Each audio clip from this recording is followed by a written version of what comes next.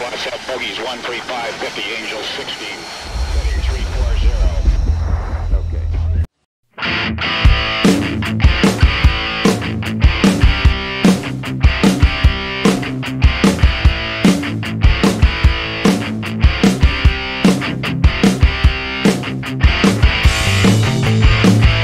Korea Selatan dan Indonesia akan mulai perundingan kembali terkait investasi bersama mereka dalam pesawat tempur KF-21 Boramai.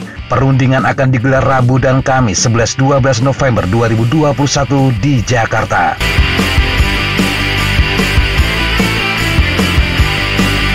Ditujukan untuk mengganti jet tempur McDonnell Douglas F-4 Phantom II dan Northrop F-5 milik Angkatan Udara Korea. KF-21 Boramai adalah pesawat generasi 4,5. Pesawat disebut setara dengan F-16 terbaru tetapi tidak memiliki kemampuan siluman.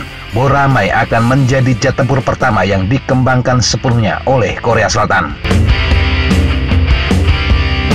Ada harapan tinggi bahwa penyelesaian akan dicapai minggu ini setelah pemerintah Indonesia mengirim 30 insinyur ke Korea pada bulan Agustus 2021.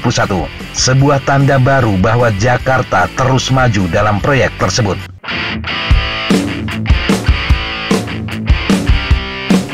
Korean Jong Daily melaporkan Kang Eun Ho, Kepala Badan Program Akuisisi Pertahanan atau DAPA Korea Selatan telah tiba di Jakarta pada 10 November 2021 dengan enam negosiator. Negosiasi akan berlangsung dari Rabu hingga Kamis sore dan berlanjut hingga Jumat jika diperlukan.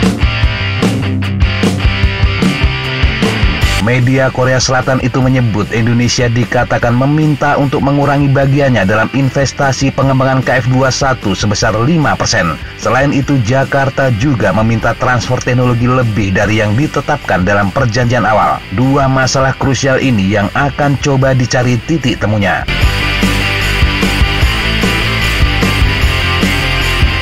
Pengembangan KF-21 telah disebut sebagai proyek paling mahal dalam sejarah Korea Selatan dengan bandrol sekitar 7,8 miliar dolar Amerika atau sekitar 110 triliun rupiah.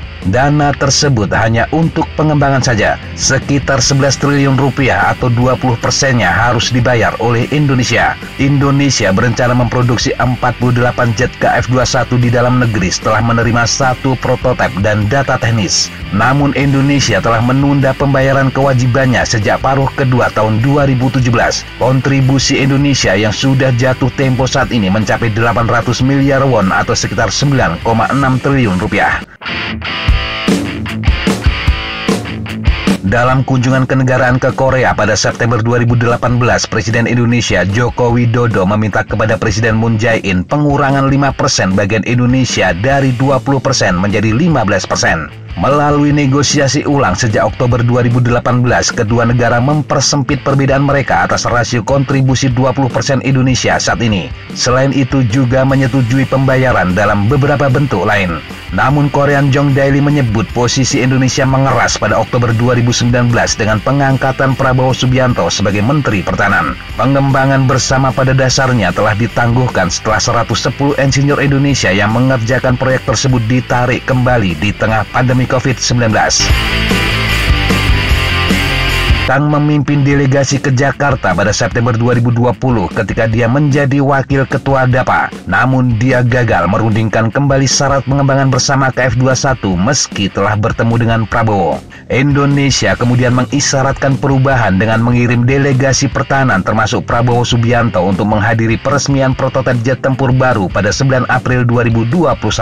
Indonesia juga mengirim 30 staf teknis yang berpartisipasi dalam pengembangan jet ke Korea Selatan pada pada akhir Agustus 2021 dan berencana untuk mengirim lebih banyak lagi jika negosiasi berhasil.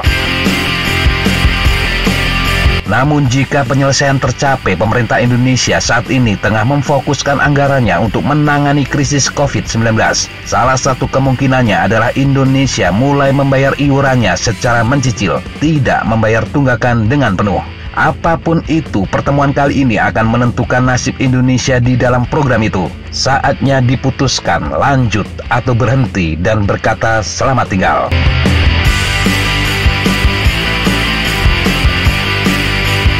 Demikian sahabat Jatapa informasi yang bisa kita sampaikan untuk kesempatan kali ini. Sampai jumpa di kesempatan yang berbeda. Tetap kunjungi kami di www.jatapa.com dan www.fredzona.com. Tetap semangat dan jaga kesehatan.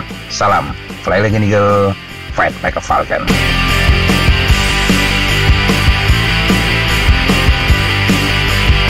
I'll protect that diamond to take today. Okay, sure, thanks. Good was good play. Hey, thank you guys, appreciate it.